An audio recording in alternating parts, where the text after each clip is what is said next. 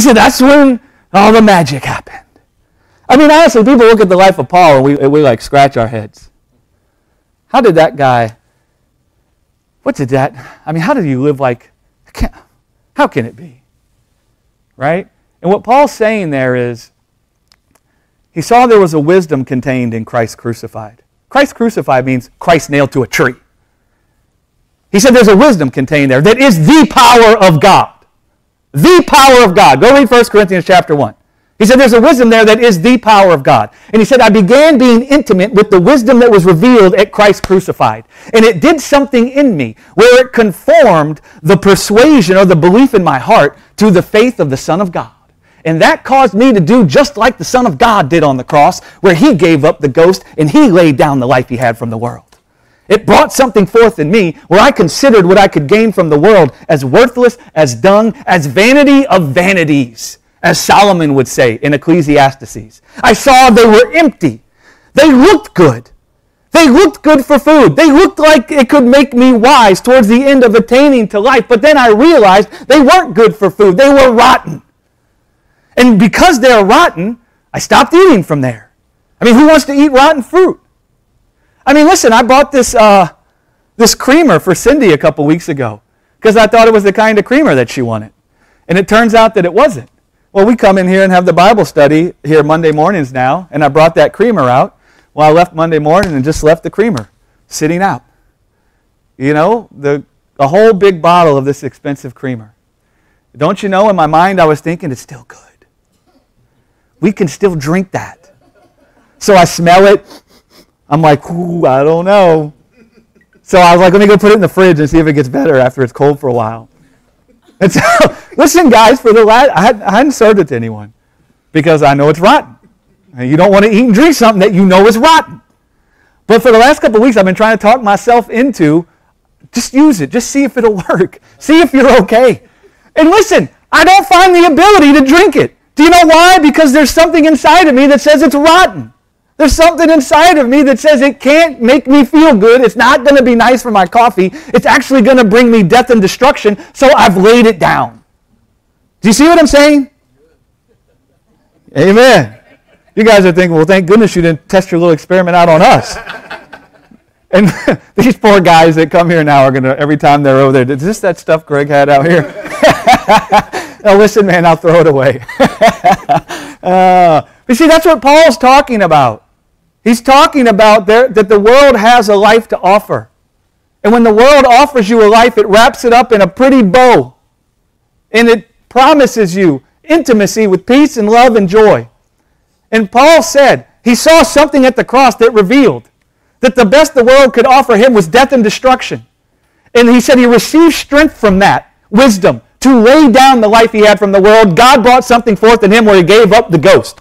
And just as Jesus experienced resurrection inside of human flesh after he gave up the ghost, Paul is describing the death and the resurrection of Jesus happening in him even while he's still walking in the world. And that's how it goes down for all of us. That's why God poured out the Spirit of His Son. God poured out the Spirit of His Son so that this, that Spirit could dwell in us and could bring forth the death and the resurrection inside of us even here and now.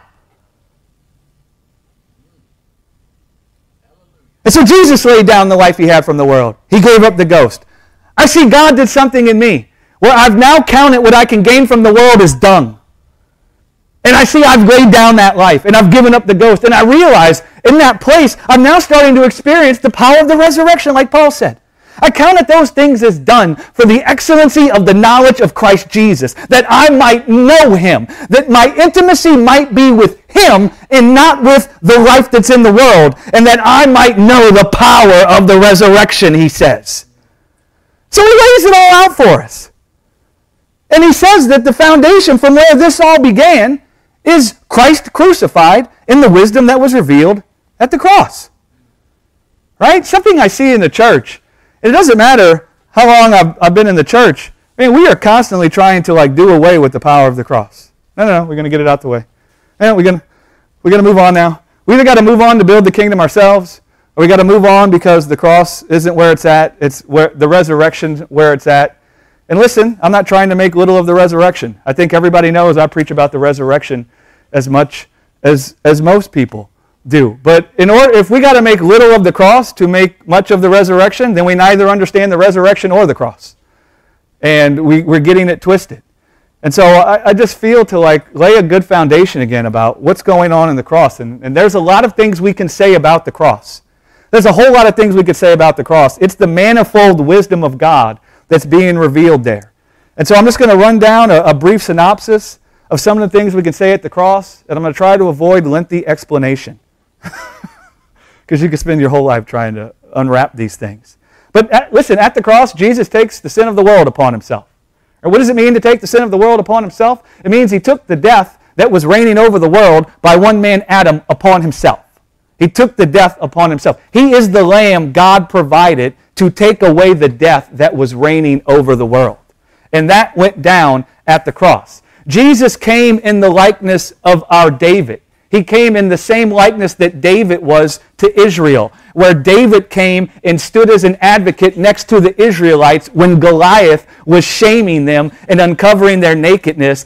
And David came and slew the giant and severed the head of the giant. Jesus came in the likeness of David, slaying the giant that was the death that stood against us. Goliath is a picture of death standing against us. Death is our giant. How many of us can conquer death?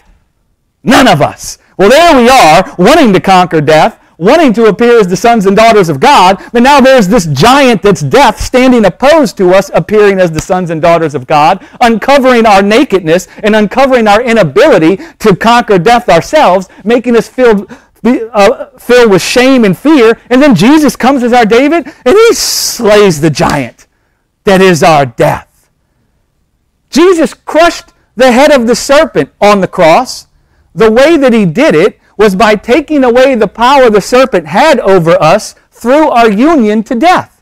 The serpent had power over us through our union to death. notice how Jesus said, Now is the hour where the prince of this world is going to come to me, but he has nothing in me. Do you know why the serpent had nothing in Jesus? Because Jesus was braided together with eternal life. And so even though he had a perishable body, a body that could take death into itself, he had eternal life inside of that perishable body. And so the serpent had no power over him because he wasn't married to death. He was married to God and eternal life. And so Jesus destroyed, he crushed the head of the serpent. He took the power the serpent had over us by destroying death, by ending our union to death. The place he ended our union to death was the cross. The resurrection is not about your union to death being ended. The resurrection is about your being joined together with eternal life. The cross is about your union to death being ended. And so, with that being said, we need to understand what even the forgiveness of the sin of sin is. You think 2,000 years after we would understand these things. But it's okay, right? I'm the chief of all hard-headed people. It's t- listen, it's taken me my whole life to figure this stuff out. And God is gracious and compassionate and filled with long suffering. and I promise you, He's had to suffer the longest with me. okay? So, glory to God. Everybody else is in a good place. But the sin of the world was forgiven at the cross. Do you know why? Because the forgiveness of sin means to be divorced from something. It means for one party to be divorced from another party. We were married to death in Adam, and it was at the cross that Jesus divorced mankind from their union to death so that we could be free to be joined to God in His eternal life.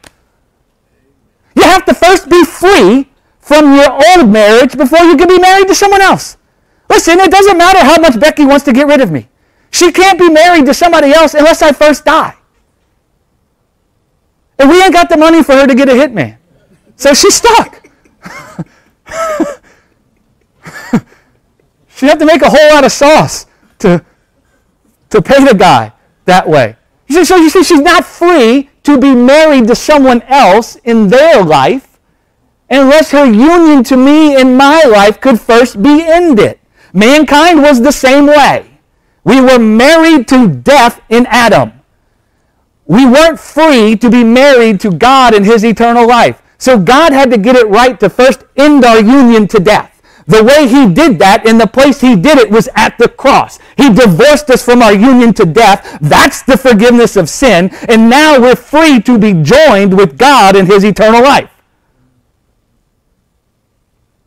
And so, what I would want to say is without the cross, there is no forgiveness of sin. Without the resurrection, there is no being joined to eternal life.